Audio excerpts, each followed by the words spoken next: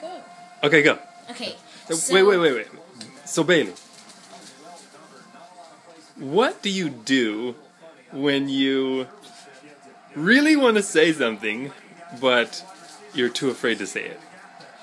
So, so for example, I'll be wanting to have popcorn when when watching football, and I'll be like, "Hey, mom, can I have some?" and she'd be like, "What'd you say?" And I was like, "Can I have some?" Her and she'd be like, "You gotta use words if you want to talk to me." And I'm like, "Can I have some?" And she'll be like, popcorn? Oh, maybe later. And I'll be like, dang it.